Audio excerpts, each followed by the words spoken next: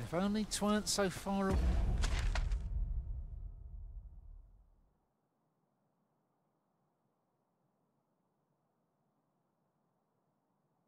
way.